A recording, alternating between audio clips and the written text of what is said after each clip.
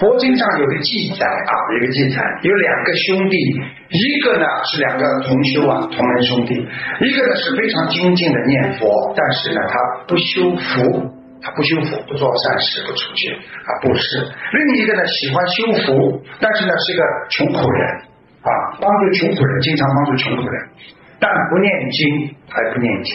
那么这两位转世之后啊。啊，有一天，一位出家人拿着空的佛，佛教里边拿了个碗叫钵去啊去乞讨，结果呢，经过国王的花园，看到一头披金戴银的大象，豪华的装饰，那是泰国的事情啊，装饰是国王最宠爱的这头象。这个时候，实际上这个出出家人他是有些神通的。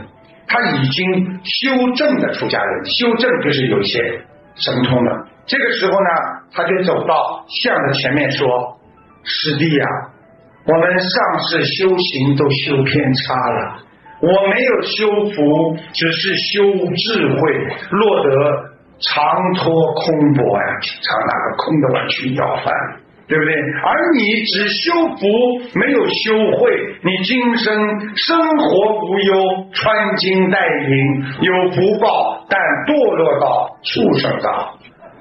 所以，我们学佛人要懂得开悟。我们如果一个人富人，他不修心。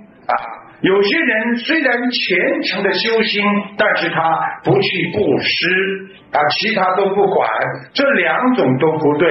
所以佛法界讲，种如是因，得如是果。希望大家修如是缘，这台上讲了啊，希望大家修如是缘，皆如是果。我们学佛人一定要懂得。不会双修，